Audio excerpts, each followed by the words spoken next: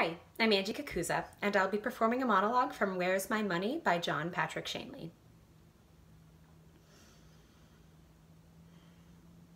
All right, I'll just lay it out for you. It's time for you to stop office temping and playing Romeo's girlfriend in acting class and get a bona fide fucking job. It's two plus two. Time to drop the lollipop and pick up the car keys. Next issue. Kenny. This is gonna sound tough, but I'm gonna say it anyway. Kenny is your best bet. Yes, I know he's a loser, but honestly, what are you at this point? Maybe together you can pull your car out of the ditch and make some miles down the road.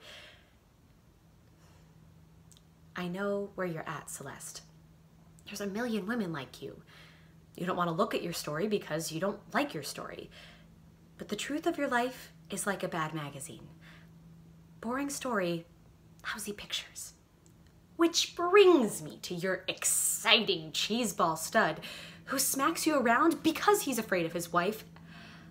Do I even need to talk about this rodent? A violent, married scumbag who slips you a Saturday night for what? Valentine's Day? you can't look at what this guy pegged the second he smelled that thrift shop essential oil you use for perfume.